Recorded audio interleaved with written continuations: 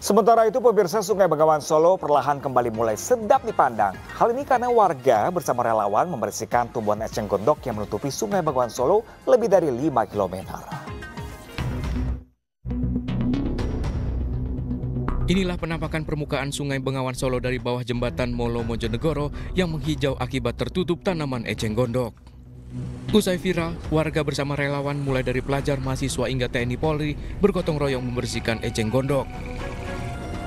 Pembersihan ini juga melibatkan dua alat berat untuk mengurai tanaman eceng gondok dari pinggir sungai Bengawan Solo. Nanti ada aksi kedua. Keberadaan tanaman eceng gondok ini menyelimuti sungai Bengawan Solo sudah terjadi sejak sebulan terakhir dengan panjang diperkirakan mencapai 5 km lebih.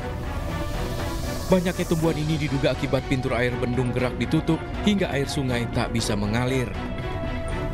Dari Bojonegoro, Jawa Timur, Dedi Mahdi, iNews melaporkan.